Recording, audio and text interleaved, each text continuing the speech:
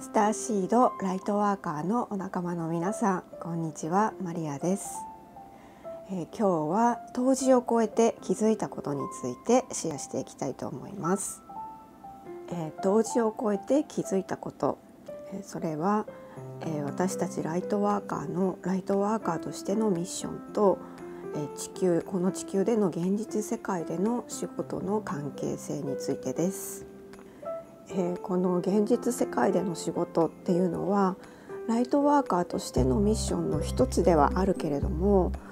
それが全てではないなっていうのをなんとなく感じています。で今まではその現実世界での仕事の延長線上にライトワーカーとしてのミッションがあるからだから現実としての仕事を頑張らなきゃいけないみたいななんかそういう変なプレッシャーがあったんですけれどもなんかそれすらもただの自分の思い込みでそれも手放していいのかなっていう気持ちになっています。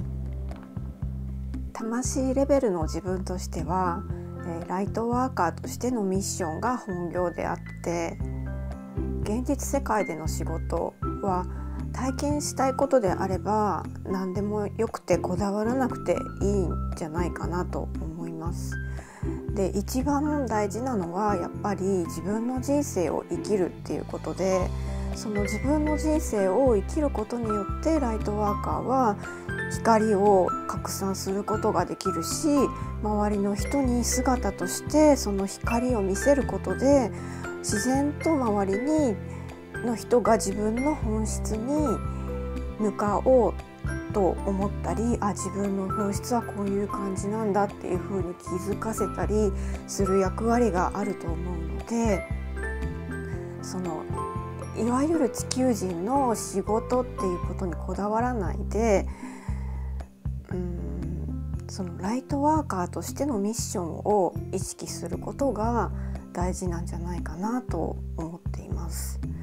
でそのミッションっていうのは現実世界の仕事っていう分かりやすい形にはならないことも多いと思うので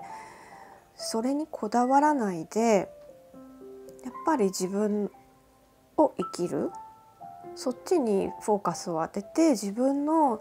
魂を表現することそれがすごく大事なんじゃないかなっていう気がしています。